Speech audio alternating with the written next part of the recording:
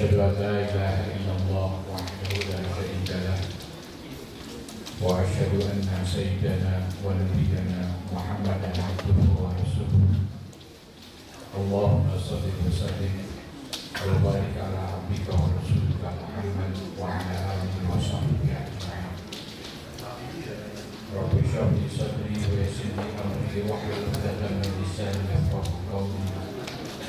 ربنا افتح بيننا وبين قومنا بالحق وأنت خير الراحمين dengan selalu mengucapkan syukur kehadiran Allah Subhanahu wa taala yang telah begitu banyak melimpahkan nikmat rahmat serta karunia-Nya kepada kita semua. Di antara nikmat itu pada tengah hari ini kita dapat melaksanakan sholat zuhur secara berjamaah dan dilanjutkan dengan menghadiri acara tausiah atau bersama mudah-mudahan amal ibadah kita diterima oleh Allah Subhanahu wa taala dan mudah-mudahan kita semuanya mendapatkan ilmu yang bermanfaat yang akan dijadikan bekal bagi proses kehidupan kita dalam rangka menjalankan tugas yang mulia. Selaku hamba Allah yang Maha dan mudah-mudahan kita semuanya membawakan orang yang selamat di dunia dan selamat di alam akhirat. Selanjutnya salawat dan salam semoga dapat dilimpahkan kepada baginda kita Nabi Muhammad Sallallahu Alaihi Wasallam juga kepada keluarganya, kepada para sahabatnya, kepada para tabiin serta atba'ut tabiin hingga kepada kita sekalian. Hadirin dan hadirat yang berbahagia, kita sering mengucapkan kalimat la haula wa la quwata illa billah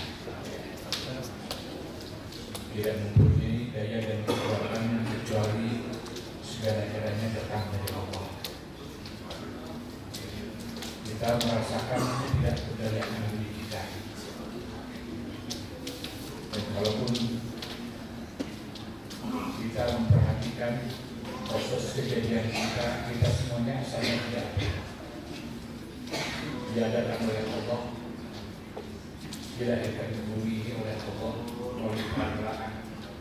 kita.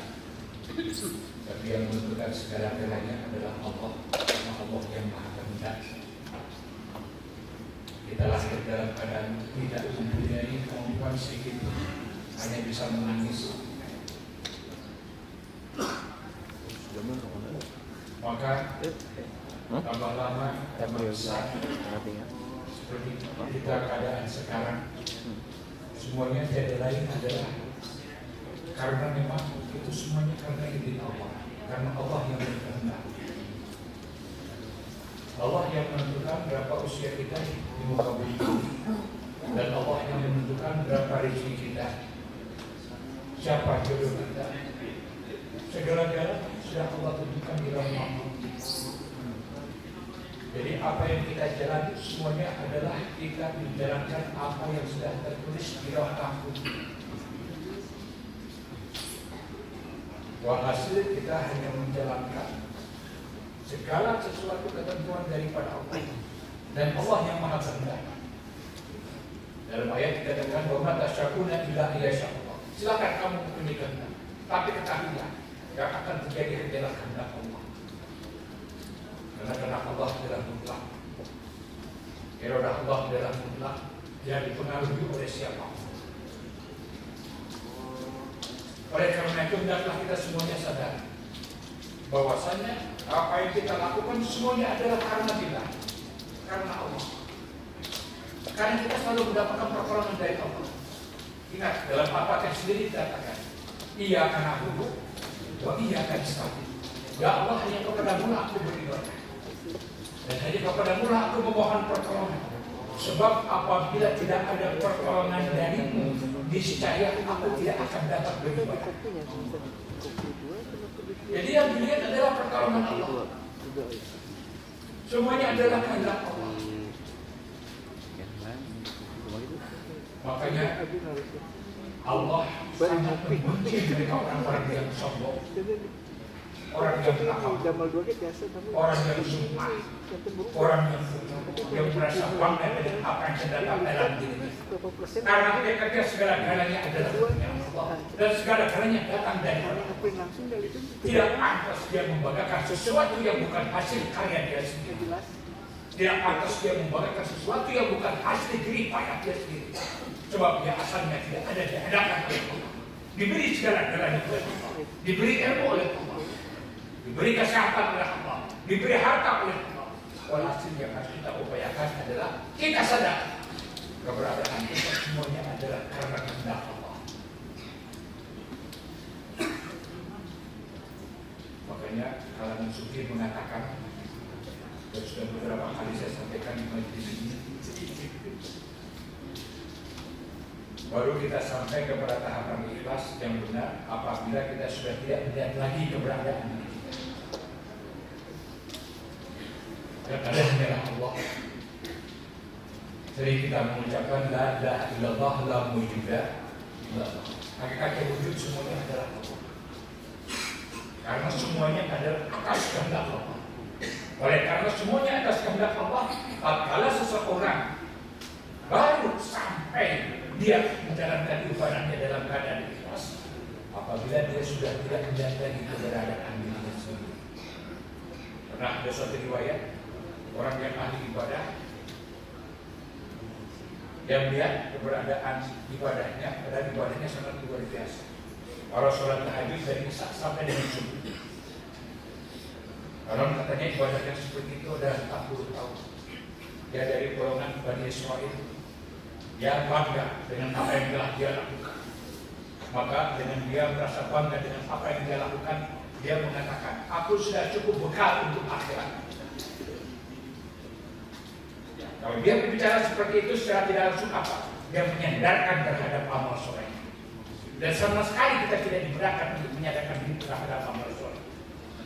Tapi karena dia melihat terhadap amal solehnya, dia menyandarkan terhadap amal solehnya. Akhirnya, kalau dia mengalami kematian secara tidak langsung, karena dia menyandarkan amal solehnya, dan ini terjadi adalah pasrah. Dia ingin membeli dengan amal soleh itulah dia membeli surga Allah. Secara tidak langsung yang diketahui olehnya adalah keadilan, bukan kasih sayang Allah. Akhirnya apa yang terjadi? Allah berfirman kepada mereka, wahai malaikat, orang ini menghendaki keadilan. Sebelum dia bisa membeli surgaku dengan amal solehnya, maka terlebih dahulu bayar semua nikmat yang telah aku berikan. Hitung semua amal solehnya. Bayarkan dulu kepada semua nikmat yang telah aku berikan. Dihitung oleh para malaikat. Ternyata amal soleh yang sangat luar biasa baru dapat membayar nikmat yang mata yang dapat melihat dan dapat lihat. Yang belum terbayar. Akhirnya waktu itu dia baru sadar. Rahman Rahim. Kasih sayang Allah yang sangat luar biasa. Akhirnya dia menjerit kepada Allah. Ya Allah sekarang aku tidak melihat lagi terhadap amal soleh. Dan aku lihat sekarang adalah kasih sayangmu. Curahkanlah kasih sayangmu kepada Akhirnya Allah bertanya. Pertanyaan Allah lebih kurang demikian. Siapa yang menjadikan kamu hidup ke muka bumi? Jawab Allah. Siapa yang memberikan rezeki selama kamu hidup di muka bumi? Dijawab Allah. Siapa yang memberikan hidayah kepadamu sehingga engkau iman kepadaku? Dijawab Allah. Siapa yang telah memberikan taufik dan hidayah kepadamu sehingga engkau dapat beribadah kepadaku? Dijawab Allah. Siapa yang memberikan ilmu kepadamu? Tadinya asalnya kamu tidak berpengetahuan, dijawab Allah. Semuanya pertanyaan dijawabnya dikembalikan kepada Allah. Akhirnya Allah bertanya kepada dirinya, kalau begitu jasa kamu apa? Akhirnya dia mengatakan, ya Allah ternyata aku sama sekali tidak mempunyai jasa. Pantaskah kamu dalam keadaan sama sekali tidak mempunyai jasa? Engkau menghendaki untuk bakar dengan surgamu dengan sesuatu yang sebetulnya adalah tidak karena nol nilainya makanya Allah sangat membenci kepada mereka yang sombong Allah sangat membenci kepada mereka yang takabur Allah sangat membenci kepada mereka yang suka Allah sangat membenci kepada mereka yang ujub yang merasa bangga dengan hasil karya yang telah dia lakukan. Tapi sebaliknya, bagi orang-orang yang betul-betul merasa segala-galanya adalah datang dari Allah. Betul-betul bila, betul-betul sifat aslinya adalah la haula wala quwata illa billah. Maka Allah akan angkat derajat dia. Apalagi sampai dia masuk dalam kategori golongan orang-orang yang benar-benar ikhlas lillahi Nah, apabila kita sudah sampai kepada tahapan kita, maka kita dihadapkan kepada sosial keberadaan lingkungan kita semuanya. Apakah dalam salah satu hadis dikatakan khairunas anfa'unas sebaik-baiknya manusia adalah yang banyak memberikan manfaat kepada sesama manusia. Ada satu sifat yang sangat baik. Dan ini adalah dicontohkan oleh baginda Rasul dan mungkin kita semuanya tidak akan dapat mencontohkannya apa di antaranya baginda Rasul tidak pernah menyimpan uang untuk hari esok? Semuanya dia bagi habiskan sebelum datangnya malam. Bagaimana besok? Terserah kepada Allah. Kalau pagi dia bertanya kepada istri-istrinya adakah makanan yang bisa saya makan pada hari ini? Pada pagi hari ini. Kalau dikatakan ada. Baginda Rasul makan kalau dikatakan tidak ada baginda Rasul menjawab kalau begitu aku akan puasa ini yang sangat luar biasa.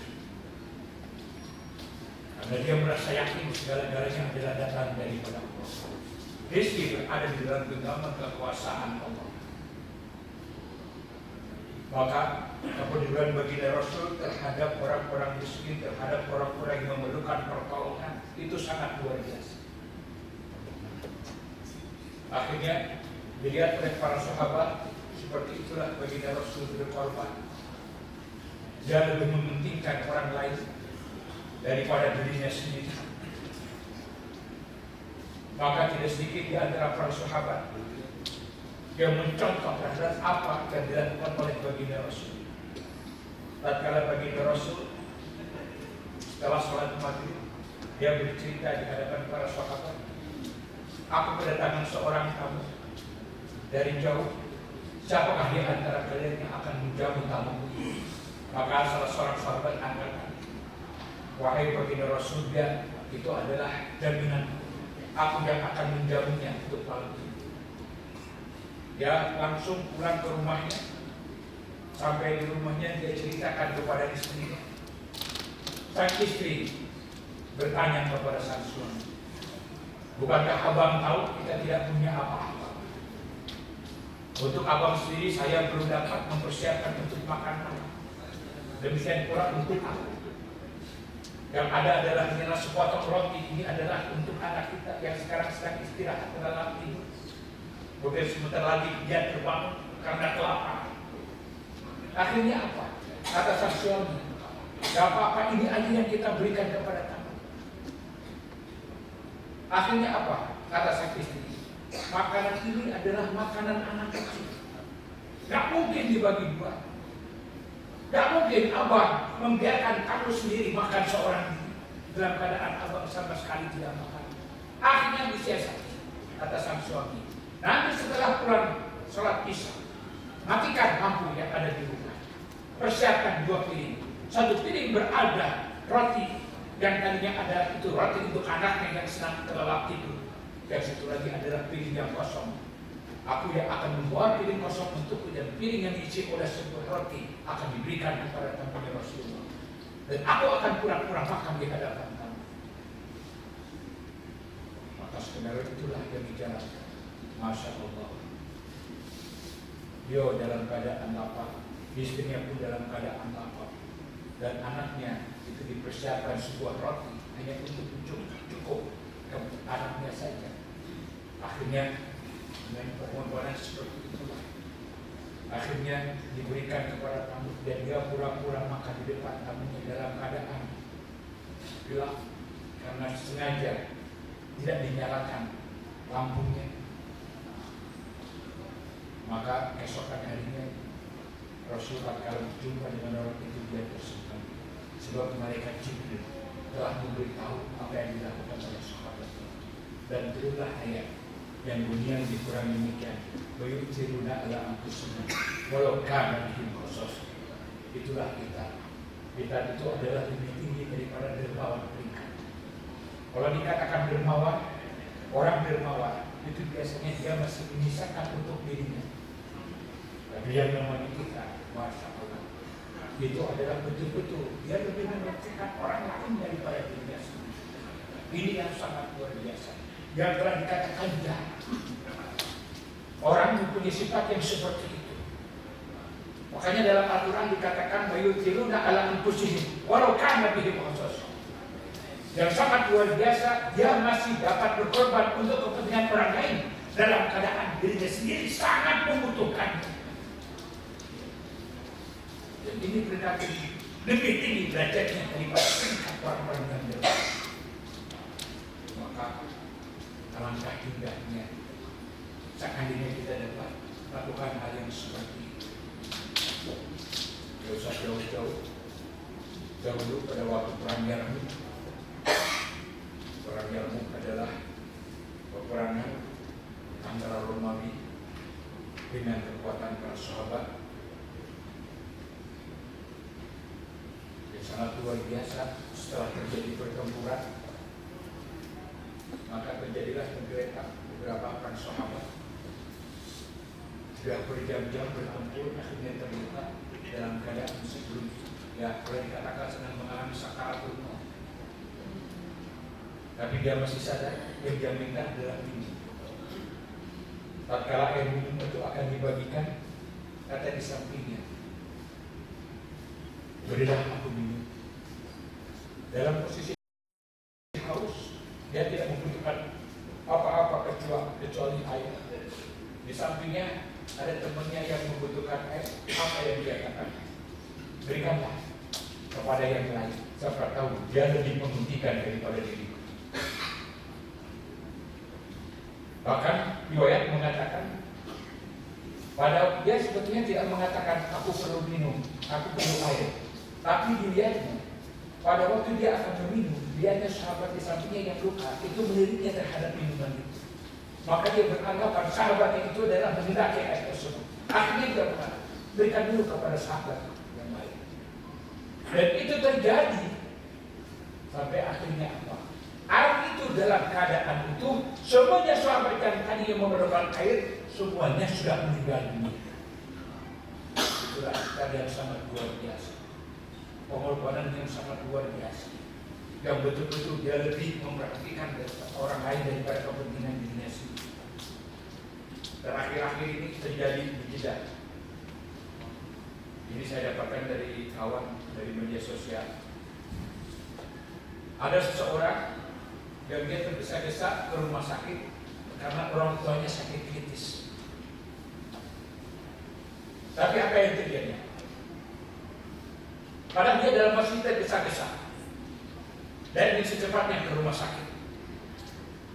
Dilihatnya ada seorang induk kucing bersama anaknya. Dalam posisi badan yang kurus kelaparan akhirnya keluarlah kasih sayangnya terhadap hewan. Akhirnya dia sengaja. Dia sengaja mampir dulu ke toko membeli makanan kornet dan dengan daging kornet itulah dia kembali lagi menuju kepada tempat kucing yang tadi dan terlantar dengan anaknya kemudian diberikan dulu makan kornet setelah itu baru dia ke rumah sakit. Masya Allah, apa yang terjadi di rumah sakit? Yang tadinya orang tuanya kritis, sudah masuk ICU, ternyata sudah dipindahkan tempat perawatan biasa. Dan ternyata membaik yang tadinya keluarga sudah panik. Diberitahu karena boleh dikatakan ya mungkin sedang mengalami sekarat. Tapi yang terjadi apa? Yang terjadi sudah dipindahkan ke kamar yang biasa, tidak lagi gawat, penyakitnya. Akhirnya dia sendiri terperanjat. Dia sendiri terperanjat Aneh. Akhirnya dia bertanya kepada orang tua yang sedang sakit. Alhamdulillah. Dan apa cerita ayahnya yang sedang sakit? Dalam keadaan saya sedang koma, saya bermimpi. Di samping saya ada seekor kucing dengan anaknya yang berdoa kepada Allah untuk memberikan kesembuhan kepada ternyata doanya diijabah oleh Allah sehingga aku sekarang ini menjadi lebih baik lagi.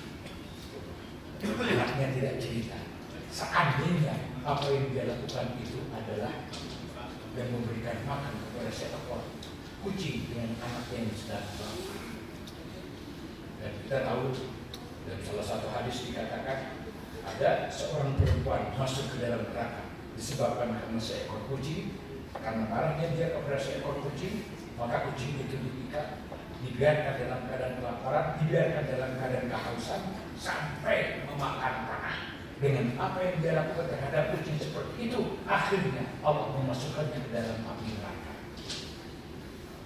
Oleh karena itulah hadirin sekalian yang berbahagia orang yang betul-betul memperhatikan orang lain bahkan mendahulukan kepentingan orang lain daripada dirinya sendiri maka itu digolongkan daripada orang-orang yang bisa orang-orang banyak berbuat kebajikan dan ini adalah boleh dikatakan jalan kalau hanya sekedar dermawan itu suatu hal yang biasa ya tapi bagaimanapun dia masih ada menyisakan sedikit untuk kepentingan dunia tapi yang sangat luar biasa orang yang betul-betul berani berkorban karena dia betul-betul ingin mendahulukan kepentingan daripada orang lain daripada kepentingan dirinya sendiri.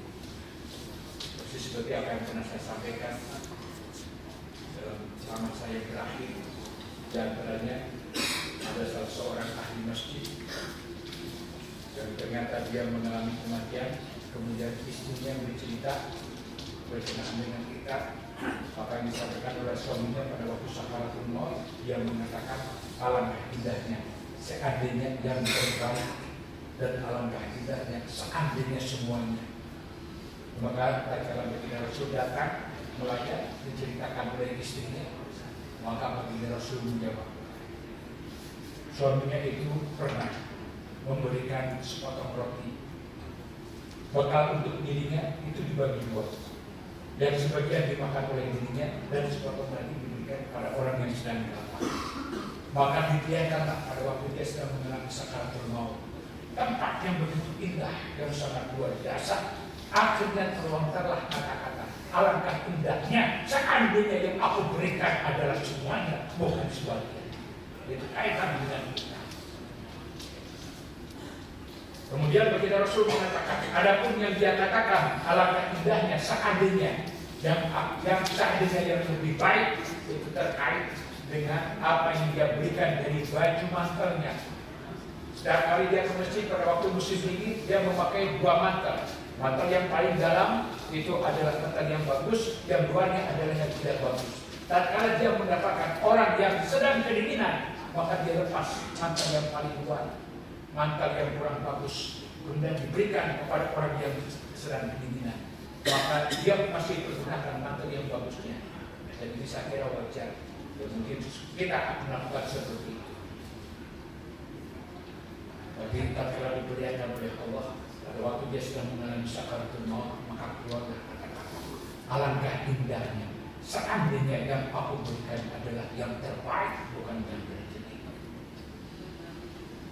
Ini yang dikatakan kita ini buat dikatakan siapa yang sangat luar biasa hebatnya dan betul-betul Allah menempatkan posisi orang-orang tersebut adalah mempunyai kedudukan yang khusus kedudukan yang begitu tinggi yang betul-betul dia anak warga itu kepentingan orang lain daripada untuk kepentingan sesuai dengan apa yang dikatakan dalam ayat wa yu'thiruna ala anfusihim walau kana bihim khasasah dia masih dapat berkorban untuk kepentingan orang lain meskipun dia sangat mendesak membutuhkan daripada kebutuhan yang ada pada dirinya itulah diri sekalian yang berbahagia Mudah-mudahan apa yang saya sampaikan pada kesempatan ini kiranya ada manfaatnya untuk kita sekalian dan mudah-mudahan bisa menjadikan kita digolongkan kepada para muslim